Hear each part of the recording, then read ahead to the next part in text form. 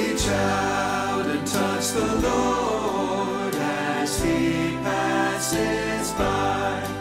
You'll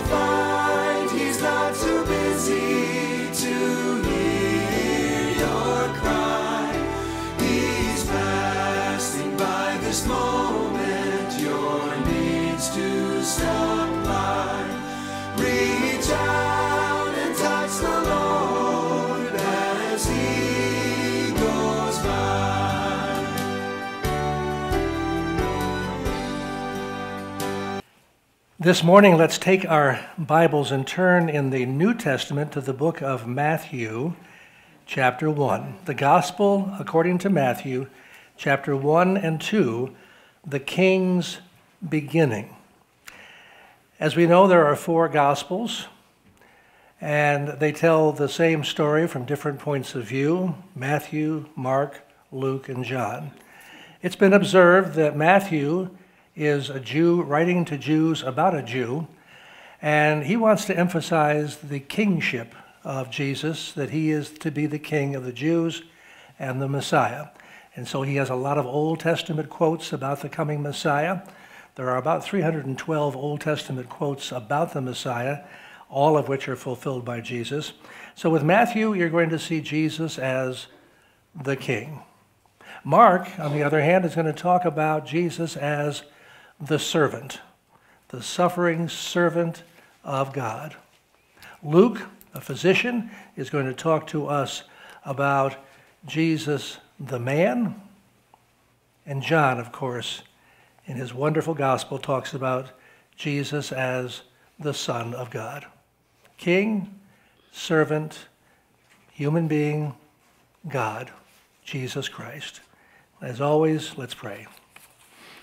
Heavenly Father, we thank you and praise you for these words that we're about to read and study. We ask that you give Pastor Jerry wisdom as he brings forth your truth and power and truth and really disseminates what is in the Word of God and helps us to understand what you want us to learn from this.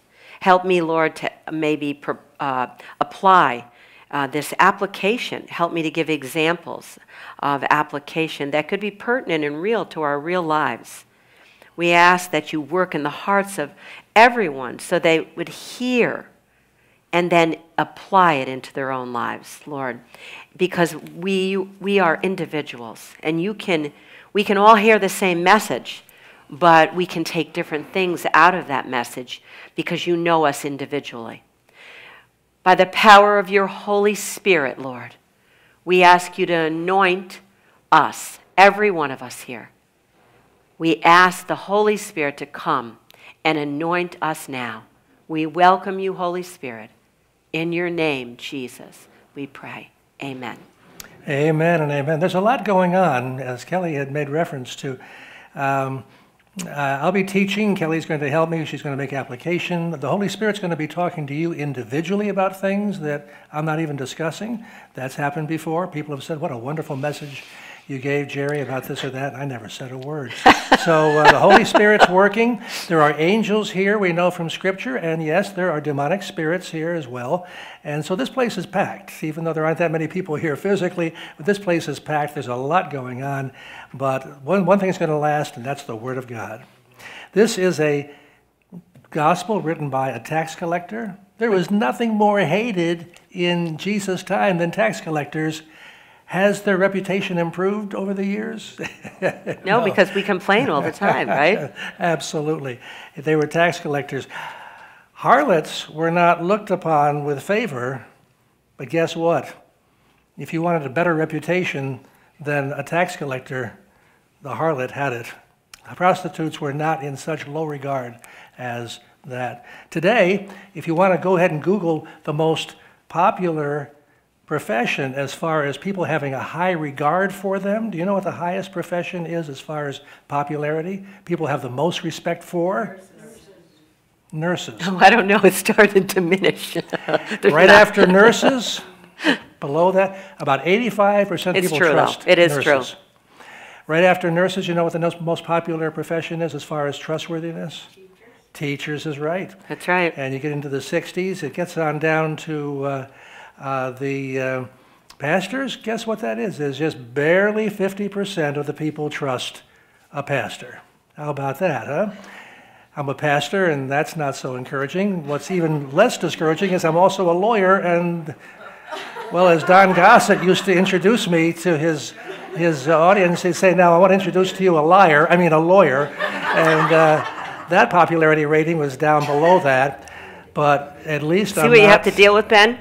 I'm not at five percent. Guess what profession is it? Five percent of the people trust them. Politicians, right? And uh, I don't know who the five percent are. Maybe their spouses. In any event, nobody nobody trusted a tax collector. Jesus brought him on board as a disciple, and the Holy Spirit has given him the honor of the first wonderful gospel that we have. He But wrote about somebody has to 58 do the days. job. Someone's got to do the work, right? Well, I have tried to make my life and my life, my wife's life easier, but there comes a time once in a while when I have to really make it difficult, and now is the time. She is going to read I'm like, verses one. he didn't through, inform me of one this. through seventeen, Is, oh, you, oh, I don't. I'm going to correct her. No, you're not. And guess who's going to be right? Who knows? My father used to say. Why don't you read it? Pastor Moore used to say, as far as pronunciation, if someone says that's not how you pronounce it, in the village where my family came from, that's how we pronounced it. Sam tells me, as my professor in seminary said, your Greek is not so good. Well, he learned it in Thessalonica. I learned it in Albany, New York. So, uh, anyway, uh, let's go ahead. I've and, done um, this a number of times and messed up some of it a number of times. you go right ahead. The important thing in pronunciation is you say it fast.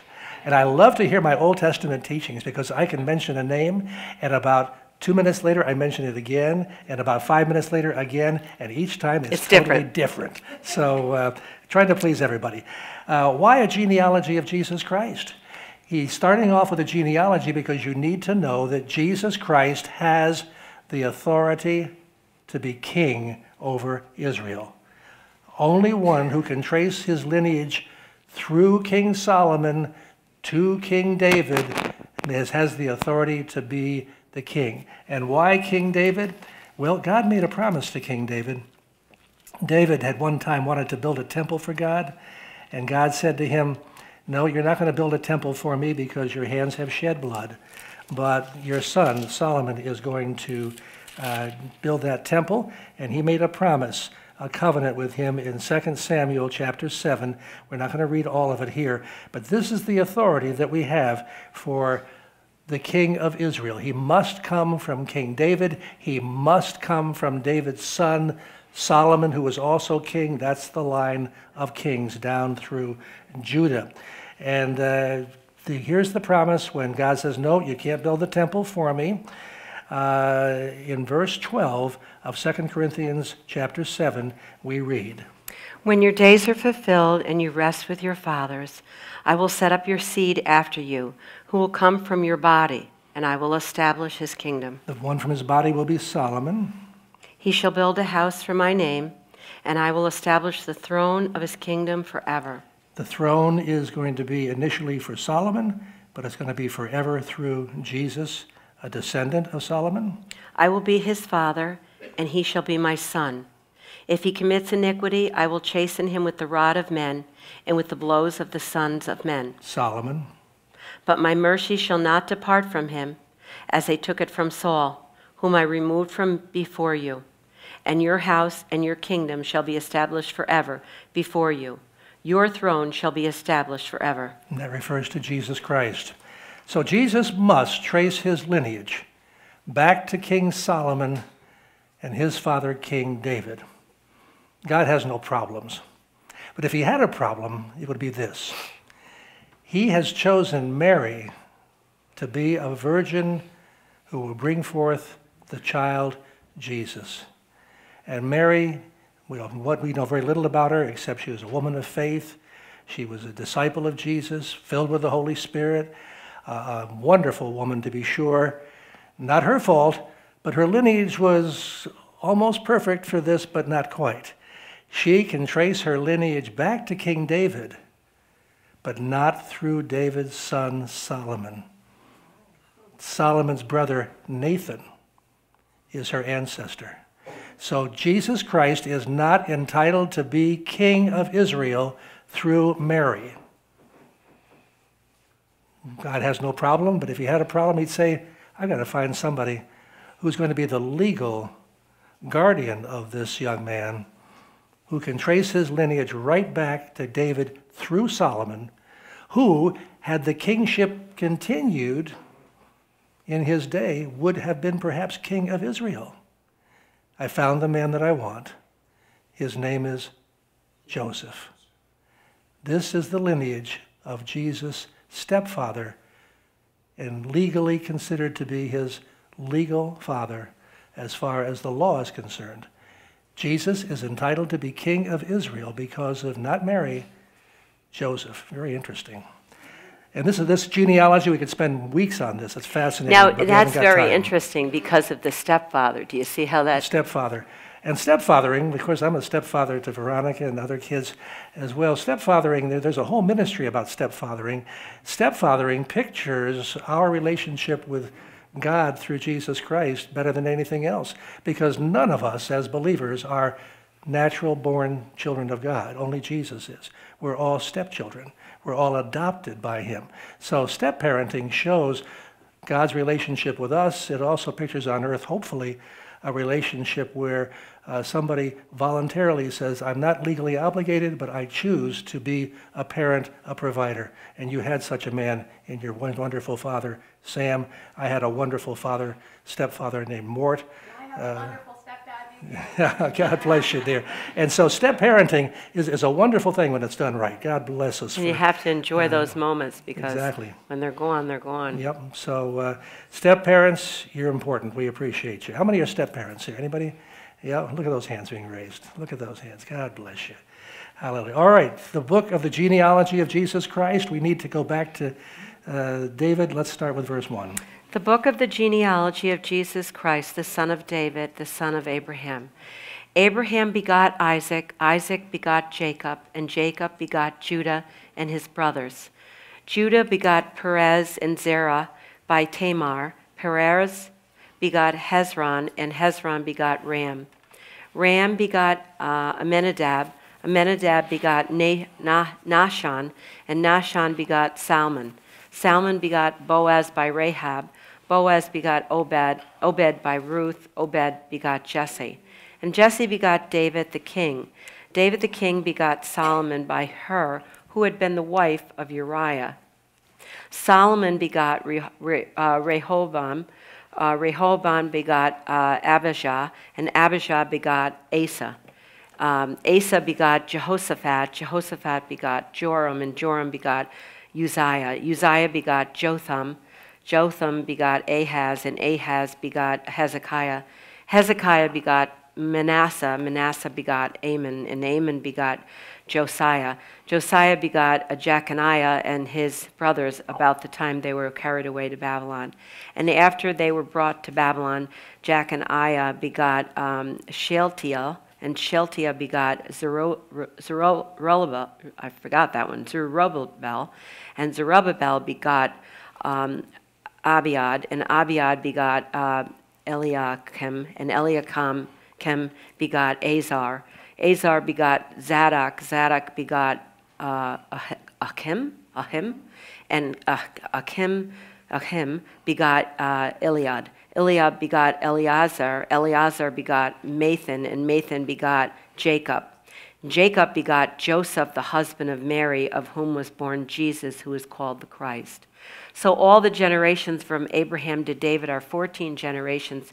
From David until the captivity in Babylon are 14 generations. And from the captivity in Babylon until the Christ are 14 generations. Hallelujah. She did well, didn't she? Praise God. Hallelujah. That, that's torture. Um, but uh, it's important because we need to establish that Jesus is legally right, uh, uh, allowed to be the king of Israel. And uh, nobody else can come in after him because these records are, are preserved here, but all the records otherwise were destroyed in the fire in 70 AD when Rome under Titus came and destroyed Jerusalem.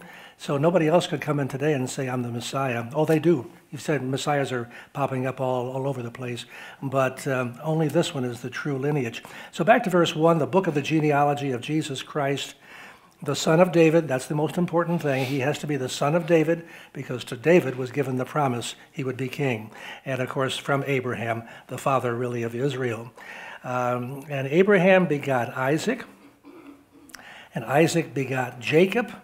And Jacob begot Judah and his brothers. We know about that. Jacob, of course, had uh, the, uh, the 12 sons who become the 12 tri- heads of the tribes of Israel. Uh, verse 3 Judah begot Perez and Zerah by Tamar.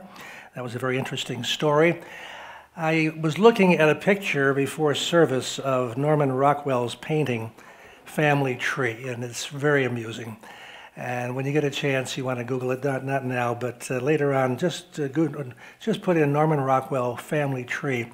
And he has this wonderful portrait of this little boy who is just so, he must be a Sunday school kid. He's just so angelic. And uh, he's got parents, and I'm showing it to Kelly here. And they, the, the parents are just all American. They're just so clean and pure and they look like something out of the 1950s movies of mother and dad. Now you look at her lineage, and oh, we got a we got a cowboy who looks kind of menacing, and we've got a dance hall girl. Uh, on the other side, we've got uh, on his side, we've got a nice looking, upstanding uh, businessman and a very fine lady. The parents. Yeah, and her her parents were uh, a very stern looking uh, pastor and his his wife. On the other side was an Indian and a cowboy, and then it goes on down, and we finally end up at the bottom. My favorite here it starts with a pirate and uh, some lady of the night and uh, what have you. So it's the family tree. And that's uh, my family tree, and that's your family tree, and that's Jesus's family tree.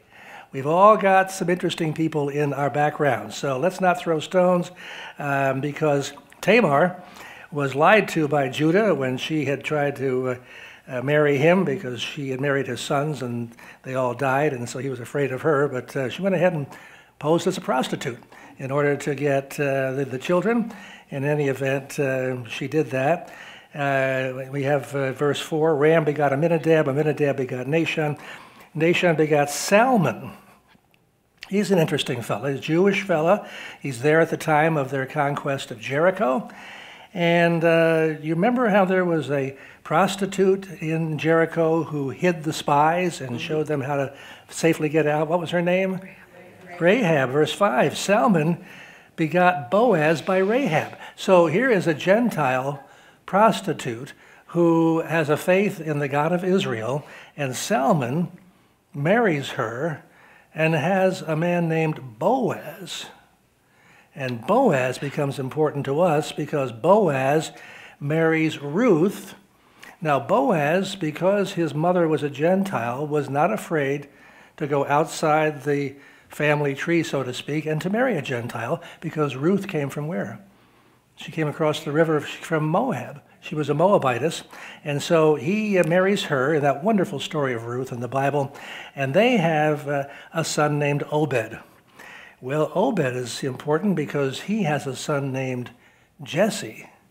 And Jesse is important because he has a son named King David, or named David the King. So now David, of course, is uh, the king of Israel, and Solomon follows uh, David, and that's important for us. Uh, we mention here that uh, David's life was not perfect, even as mine was not, uh, nor yours, and uh, they had a child out of wedlock, and that child died a couple of days later. They had three other, they had four other children, and um, David wanted to cover that up, didn't he? So what did he do? He murdered her, wife, her husband had her husband Uzziah. murdered, Uriah. Uriah. Uh, Solomon begot Rehoboam. Rehoboam begot Abijah. Abijah Asa. Asa begot Jehoshaphat, a very godly man, very godly king.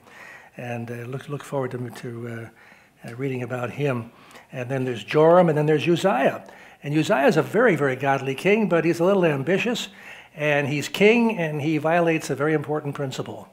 A king is a king, and a priest is a priest, and neither of the two shall be in one person. He tries to be a priest. David was smart enough not to try to do that, but Uzziah was dumb, and he went into the temple to try to offer a sacrifice The priests tried to shove him out and say, No, you can't be here out, because you're get the out." king. Get out. And he broke into leprosy, and uh, he was a leper until he died. Because of the Old Testament, it says no one can be a priest and a king, That's right. except there was one priest and king. That's right. And who was that? You know who that was. And that was, Abel- it was Melchizedek, wasn't it? My, Melchizedek in the Old Testament? favorite story in the Bible. Melchizedek was prophet, priest, and king in the Old Testament. And in the New Testament, we have Jerry Lynn. And lest we think that he has become delusional, every believer in the New Testament has that ability to prophesy. All believers are priests and kings according to Revelation 1. And so through Christ, you and I are a kingdom, and we are kings in his kingdom, and we are priests, and we can So you prophesy. can prophesy, you can pray, you can do So all you can those do all things. those we used to go to them for that. That's right. But now we can go straight to the throne of God through Jesus. Amen. Well, Uzziah begot Jotham, Jotham Ahaz, and then Hezekiah, wonderful uh, uh, fellow. We all know about Hezekiah because what did he do? He was sick, and Isaiah gave him the word, You're to die, and what did he do? He cried, and he prayed, and God gave him a little more time. How much more time do you have? 15 years. Testimony time. He was healed of his disease. And incidentally, how was he healed? by figs, talking about healing coming from plants and fruit, and what healed by figs. Great news, he's healed and he has a little baby boy, and the baby boy's name is Manasseh, and he'll become king. He'll become the most wicked king in Israel. Aren't you glad you lived 15 more years to have that monster? And so Manasseh is so bad that God singles him out and says Judah is going to go into captivity, yes, for their own sins, but particularly the sins of Manasseh and also Solomon in his backslidden state. Solomon, I thought he was so wonderful. so yes, he started off so well, didn't he? And then he ends up being backslidden by his 1,000 wives who lead him astray. So Solomon goes from very spiritual in Proverbs to rather backslidden in Ecclesiastes to being so wicked he is called out by God as one of the two most wicked kings, sending Israel into captivity at the hands of Babylon. So, when, you, when they, when they look from- at Israel today, you can understand, you know pieces of this, you can understand what poor Israel is going through. So you look at Solomon, he's wonderful. My money's on him. It's going to be great. Don't judge a book by its cover. Give it a little more time. My grandfather used to say, We shall see what we shall see. So he ends up going from good down to bad. Manasseh, the most wicked king of all, he's taken into captivity by Assyria. They put a hook through his jaw, drag him off, and what does that sucker do? he calls out to God and he repents and he asks forgiveness and he becomes saved. And God puts him back on the throne and he spends the rest of his days leading people to love and respect Jehovah. So he goes from bad to absolutely superlative. So God can take So- a wicked, wicked person. yeah, he can and change. He can change them. Very interesting stories. A lot, a lot of we could go on and on about these people. But this is this is our lineage. yeah, Yeah. So when the people say, "Gosh, that person's such a bad person," you better think about, well, I don't. He he is, but we don't know what God's going to do with him. So I better zip my mouth up. that's right. I was telling some of the young girls I work with, I, you know, I attract young girls who need mentors in the nursing field, and I said, you know, one of my old, my old bosses, one of my managers, you remember Evelyn, who came here, she used to do this to me, because I wanted to, you know, pa, pa, pa, and now I'm doing, That's right. I'm doing this to them, and I'm like, mm. wait, just wait. So it's not our job to judge. But I'll tell you, that person over there is a super spiritual person. We should all be like that person. We shall see what we shall see. We hope for the best that it continues. That wait. bum over there, that is the worst individual. That person could never be saved. There's no hope for that individual. Well, let's pray. People can change. God is a miracle working change. God too. He's a miracle working God. He's a miracle sure. working God. So you just simply uh, trust in the Lord and just look to Jesus. And uh, There, but the grace of God, there go I. Exactly, exactly. Well, they um, Hezekiah he got his wish. He got a baby boy, and Manasseh was wicked, but then he turned towards God. He had a son Amon, and then uh, Amon came along with and he had Josiah, who was very spiritual. Josiah begot Jeconiah and his brothers at the time they went into ca- to captivity. And after they were brought to Babylon, Jeconiah begot Shealtiel. Shealtiel begot Zerubbabel. He is important because he is a governor who comes back and supervises the building of the temple along with Joshua, the high priest. And with the help of several of the uh, prophets, he is encouraging the people to build the temple again that had been destroyed uh, when uh, Babylon came to destroy it. So he is a very important person there. That's what the, he's the one that God spoke to, and also Joshua. Don't give up, guys. It's not by might, not by power, but by my spirit, says the Lord of hosts. Amen. Zerubbabel begot Abiud, Abiud begot Eliakim, Eliakim begot Azor, Azor begot Zadok, and Zadok begot Achim, and Achim Eliud, Eliud begot Eleazar. These are not names that are important to us. They could have been kings had the kingship continued, uh, and would have been kings perhaps. Eliud begot Eleazar, Eleazar Matthan, Matthan begot Jacob, and here it is Jacob begot Joseph the husband of Mary, of whom was born Jesus, who was called Christ. So, first thing we know about Joseph is he's got the impeccable lineage, could have been king, could have gone right back to being, if, if, if they had a kingship, Joseph could have been king of Israel. That's the man that God chose to raise Jesus to become his legal guardian. In those days, it was the stepfather who would become, if there was no father, the stepfather was the legal uh, one that had the legal right. My stepfather adopted me, and uh, I became legally his son, and uh, with equal rights of his daughters. But uh, Joseph was the legal guardian and was the. And when a father, um, when a man died, didn't he go to the brother if the brother, the- yeah, Right, if the brother That's the problem we have with Tamar. Right. Uh, they, they have to. Uh, with Boaz? Yeah, they, they go. They go back to. Uh, you have, have to marry your your. Um, if, if you're if you have have no family, you marry your wife's uh, Brother. Your, your, your brother's uh, wife. Your, Uh, your brother-in-law, but if he's married or if he doesn't want to, then, and that's what happened with Boaz that's there. with with uh, with, uh, with Tamar. Tamar. etc. Now Jacob begot Joseph, so Joseph is very important to us, and uh, he was the husband of Mary, of whom was born Jesus, who was called Christ. Mary's lineage, if you want to read that, uh, is in Luke chapter three, and it's also very interesting. But you'll see that she goes back to David through. As I said, Nathan, and that's the wrong, uh, the wrong line. So all the generations from Abraham to David are 14 generations. David to the captivity in Babylon, uh, 14 generations. Captivity to uh, Christ, another 14. Actually, there were a few more generations there, but they limited it so that uh, people could, uh, kids could remember these things. And incidentally, when you look at this wonderful list of people, uh, and you ask, who do the Jews really revere? My, my, my stepfather was Jewish, raised as an Orthodox uh, Jewish uh, person, became a believer, became a pastor. And I said, uh, Who do the Jews really respect? And he had a thumb, his thumb on the Jewish community. He said, Is it David? Is it Abraham? No. You know who the Jews really respect? They look to their father, so to speak, Moshe or Moses. Moses is the one they really, really respect, not David. Christians get all excited about David because of his Psalms and wonderful spiritual example. But don't forget about Moses. The Jews consider him to be their daddy, so to speak. And uh, as I'm getting older now and getting more into natural lifestyle instead of medicine lifestyle, um, I'm looking more to Moses all the time and how he lived.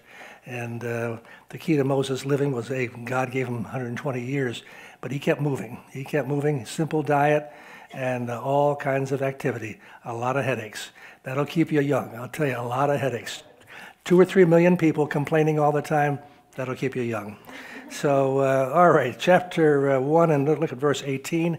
Let's get into the birth of Jesus now. And this is going to talk about uh, the, uh, how God is uh, handling this situation. Now, the birth of Jesus Christ was as follows. After his mother Mary was betrothed or engaged to Joseph, before they came together, she was found with child of the Holy Spirit. That is earth shattering. That is amazing. Here is the birth of Jesus. She is engaged. In those days, engagement could be anywhere from age two or three years of age, two kids getting engaged. to maybe a year before the actual uh, wedding. In any event, they were engaged. And the engagement was a very serious proposition, more than it is today. It was a legal relationship. And as a legal relationship, it could be only broken by divorce. If you were engaged and you broke it off, you were having to do it by divorce, not just simply throw the ring back and walk away. And so the betrothal period was had to be at least a year. Why? They understood biology in those days as we do today. We want to make sure that young lady who's coming to the wedding is a virgin. And one year will tell you whether she, in fact, is or is not. And so they were engaged. And if the young lady were to slip in the relationship and have a child, be pregnant within a year, then the husband to be would pretty much have the obligation and certainly the right and privilege to expose her, to bring her before charges that she's had a child out of wedlock while we were engaged. And what is the Old Testament penalty for that? She was to be stoned to death. That's what's on Joseph's mind. First thing we saw about Joseph is he has the impeccable lineage, could be king, certainly provides kingship for Jesus. Secondly, as far as this man himself is concerned, he no doubt is a virgin. He is engaged to a virgin who is now no longer a virgin. What is he going to do? What is he going to do? Take her before the elders? Have her stoned to death? Obviously, he cared for her deeply. That's his predicament. Before they came together, she was found with child, and here it says the child was really of the Holy Spirit, God Himself. So let's pick it up. You feel I'm going to continue? Uh, you got a little frog in your throat? Yeah. You want some water? Okay. I I think it was my fault. I worked her too hard. no, I hard on have all to. those all right, names. I'm- was going to say what happened, but Veronica made these really good meatballs. It's her fault. No, no, this gets better. And just before I left, I said, "Is there any salt on these meatballs?" She said, "No, not much at all. I just a tiny bit of garlic salt." So I said, "All right, I'll have one." Well, I had two, It's your fault. but she had them seasoned with other things, and something got in my tooth, and it loosened from my tooth. I felt it, and I swallowed it, and it was hot. See that? See, in our family, And I brushed uh, my teeth before I left too. the solutions to all problems are easy with our family. Just blame it on Veronica, right? all right. I'm like, Veronica, what'd you put in those meatballs? Save some of those for me. I love them, okay?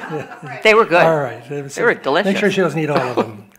Okay, so we've got a problem here, haven't we, huh?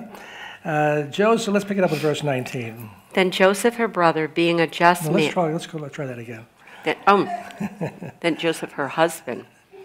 You caught that. See, they, they called, uh, in the, the engagement period, they called it a husband. And let me just finish that to give your throat Yeah, another yeah. minute.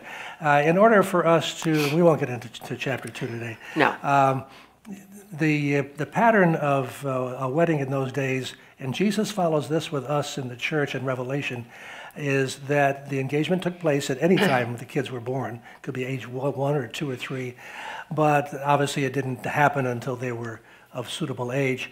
And then the engagement period had to be at least a year. It was a betrothal. They called them husband and wife, even though they were not actually legally married. But during that year, the young man was to prepare a house or an addition on his father's house if they couldn't afford a whole new house. and so during this year, we can imagine that Joseph was making provision for Mary to come into the home. They would marry and then they would have a child.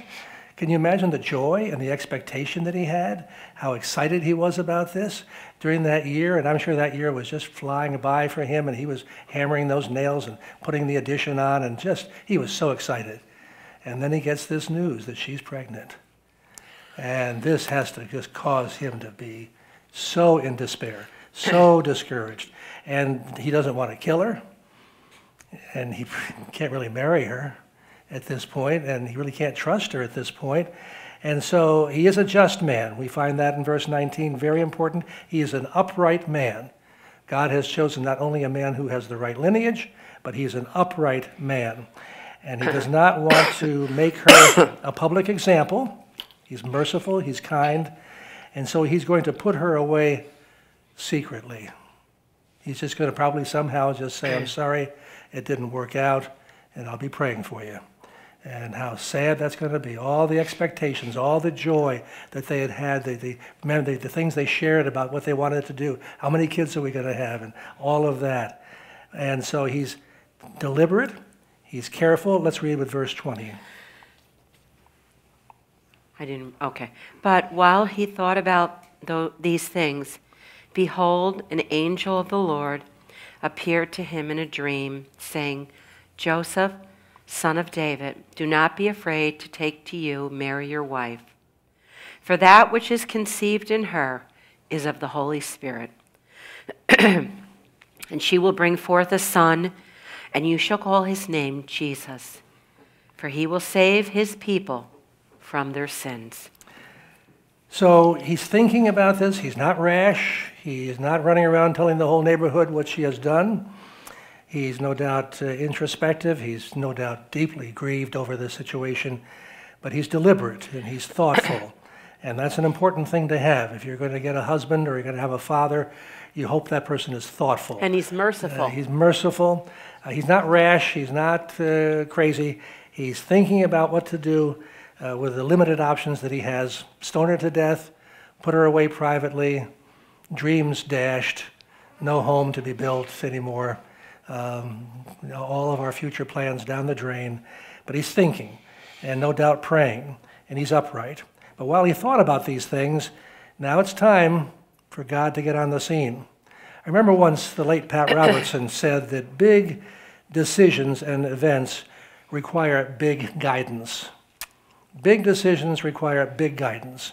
When you've got a major decision to be made, call on God for big guidance. Lord, I need it in capital letters and hopefully He can do that. You might go out there in Florida, when you go back home to Florida, and look up in that sunny sky. Think of me up there. Write when it you up in the sky. And you'll see a little sign, there's your answer, and it'll tell you, because they do that all the time.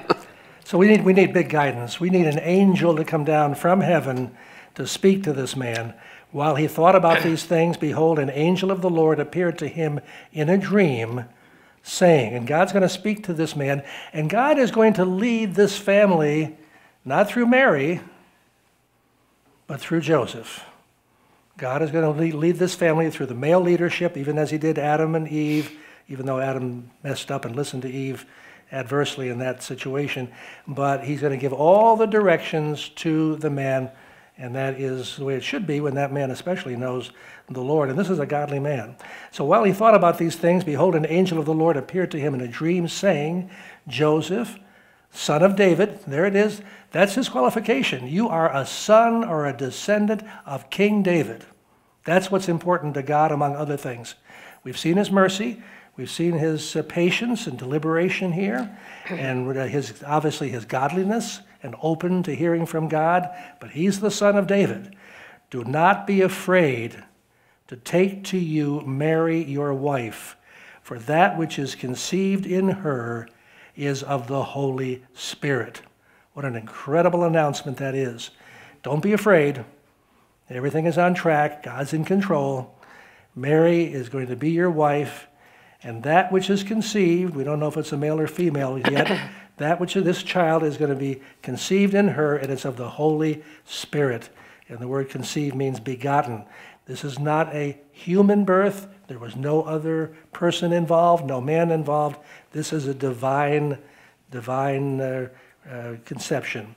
And she shall bring forth a son. Now we know it's going to be a male. She'll bring forth a son, and a capital S in most Bibles because he is the Son of God. And he's going to have a name. You're not going to call him Jerry or Pete or Sam or Mike or Joe. he needs a name that's going to be very important, and that name means Savior. The Lord is Savior. Jesus is the is uh, the Jesus in the Greek. Uh, uh, transliterates from the Hebrew Jehovah, uh, actually Jehovah Shua or Yahweh Shua. The Lord is our Savior. The name means He is our Savior. Jesus is Savior, and He will save His people from their sins. That's the announcement. That's who Jesus is. Now let's read verse 22. So all this was done that it might be fulfilled, which was spoken by the Lord through the prophet, saying, Behold, the virgin shall be with child and bear a son, and they shall call his name Emmanuel, which is translated God with us. So now Matthew, writing as a Jew to the Jews about a Jew, is giving a prophecy here from Isaiah, from the Old Testament. So all this was done that it might be fulfilled. Here is one of the fulfillments of the Old Testament prophecies about Jesus. Uh, this is the prophet Isaiah speaking Behold, the virgin shall be with child and bear a son, and they shall call his name Emmanuel, which is translated God with us. Jesus is God with us. Now look at Joseph, another characteristic, verse 24. Then Joseph, being aroused from sleep, did as the angel of the Lord commanded him, and took to him his wife, and did not know her till she had brought forth her firstborn son, and he called his name Jesus. Another quality you see about Joseph here in verse 24 is that he is obedient. When you look at the people in the Bible, Old Testament, New Testament, male, female, those who are successful are those who obey. They wait for God to speak, and when he speaks, they fulfill it. So Joseph, being aroused from sleep, did as the angel of the Lord commanded him and took to him his wife. He did as he was commanded. And the Bible says in Samuel, 1 Samuel, right, to obey is better than sacrifice. That's right. I said that regarding Saul. My late mother used to say, it helps as a Christian not to be too bright. It helps as a Christian not to be too ambitious. Don't be too bright. Just do what you're told to do. Sometimes it doesn't. Don't be too ambitious. Just do what God tells you to do. Yeah, because, and what he tells you to do might be different than what he tells me to That's do. right. Although he's never going to break his law, he's always going to want us to do what is right and good and holy in his sight. But he's, um, he's creative. I, I have to say, God, the Lord is very creative, and he's a detailed working God. He knows the details of every one of our lives. That's right. So the angel of the Lord commanded him, and he did it, and he took to him his wife. Now, I don't know the time frame here, but I'm suspecting that he hastened the, the one year period. It might have been close to a year anyway, but probably not. My guess is that he went ahead and consummated that marriage immediately as far as the legality of it. Went to the elders and said, We're doing it today. And he would have to explain why today. Right. You haven't waited a whole year, Joseph, etc. We're doing it today. That's just a guess. Oh, wow, that's when, true. When I speak outside of Scripture, I always tell you this is not in Scripture. And I wish others would do that as well. But uh, I'm just guessing that he, I'm trying to get a picture of Joseph here and why God chose this man. We focus in on Mary, and she is a wonderful example of so many things. But don't forget Joseph, he was very special. He did not know her, they did not come together physically until she had brought forth her not only son, her firstborn. So with all of our Catholic brethren, with all due respect, he was not, she was not a perpetual virgin. Uh, at that point, she had children. not. In fact, two of them wrote epistles in the New Testament, right? Who were they? James and Jude, right? And so she didn't bring forth, uh, uh, she didn't uh, know him, he didn't know her until she brought forth her firstborn son, and he called his name, just as he was told to, Jesus. So this is the birth of Jesus as Matthew is doing it. And again, he's talking to Jews and he's giving the lineage. He's saying to the Jewish people, look at all of your kings and all of those in line of kingship after the Babylon, including this man Joseph. And look at how Jesus comes from that line. He is entitled to be king by lineage, by heritage, and it was prophesied in verse 23. And read that again, would you dare? Behold, the virgin shall be with child and bear a son, and they shall call his name Emmanuel, which is translated God with us. And so he would say to the Jews, This fulfills prophecy, and we're off to a good start.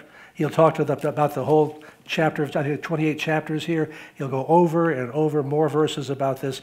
He's appealing to the Jews to give their heart to the Lord. There are many Jews that we know in our own lives. Pray for their salvation. My, my, my dad, as I said, was an Orthodox Jew who became an atheist, who became the head of the Christian Science Church and eventually became born again and the pastor here in this church. Jews can be converted. Dad said, You know how you witness to a Jew?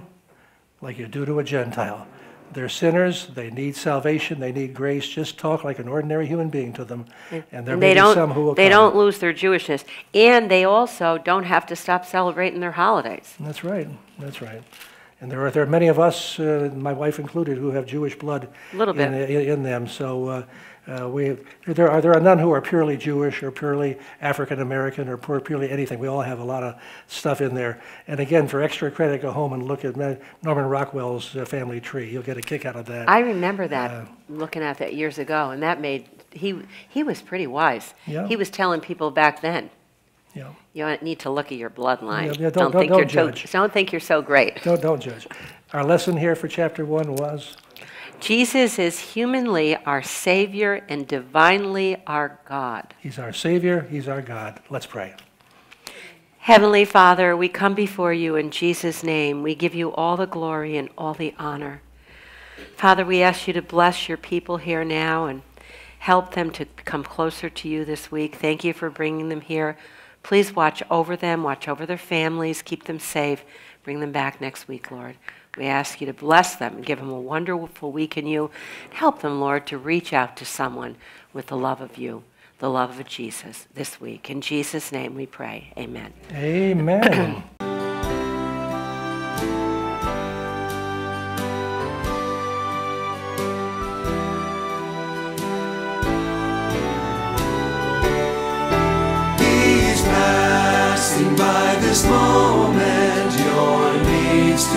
sublime.